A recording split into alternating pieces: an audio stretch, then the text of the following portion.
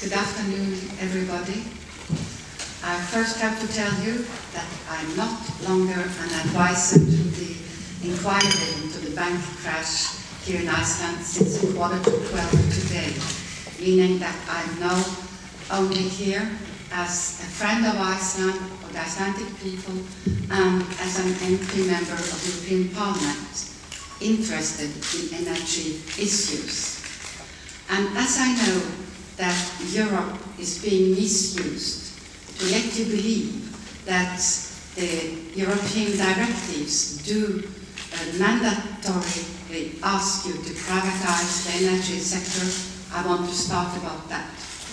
This is not true.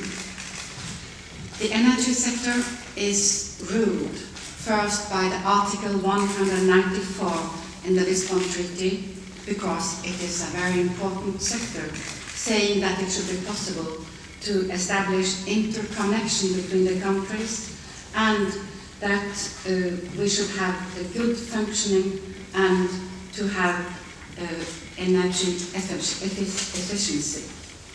And then we have a directive from 2003, the number 54, who uh, foresees specifically that in small countries where you have less than 100,000 inhabitants, you are even uh, dispensed of dividing between the production and the distribution.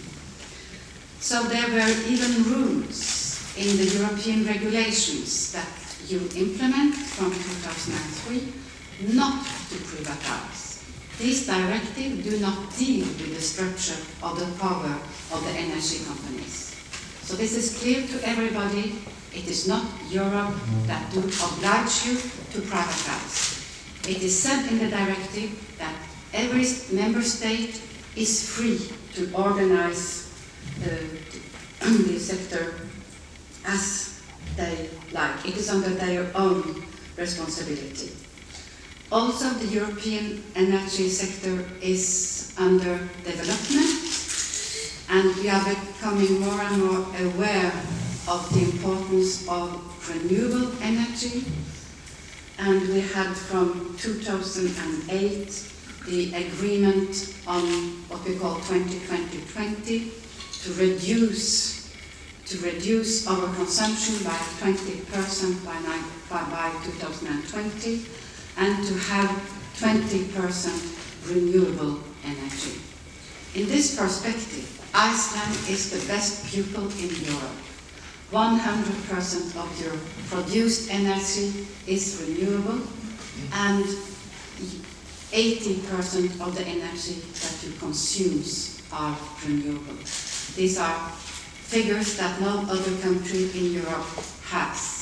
So there should be no pressure upon you to increase your renewable energy whatsoever. So this is uh, the general point of view.